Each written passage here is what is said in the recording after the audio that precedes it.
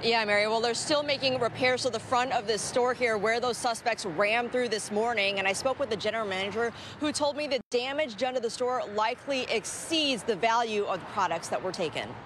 Surveillance video shows the moment six suspects dressed in all black, wearing surgical masks, pull up in three separate vehicles to Theorem Cannabis in Kenmore. The suspects moving the large boulders at the front of the store, clearing the way for them to use this white car to reverse into the front of the shop. Video inside the store shows the suspects smash their way inside. All six, ready with bags, rushing inside, breaking into display cases and stealing merchandise. Then, just just as quickly as they ran in, they're making their getaway, leaving the car used to smash into the store behind. The entire crime only lasting about three minutes, according to the timestamp on the video.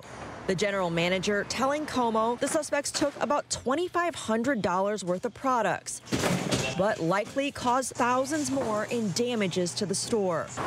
The shop has been at this location since 2021, and this is their first time they've been hit with a smash and grab burglary like this. The shop closed most of the day as employees work to clean up the mess left behind, losing out on a full day of business while they try to get back on their feet.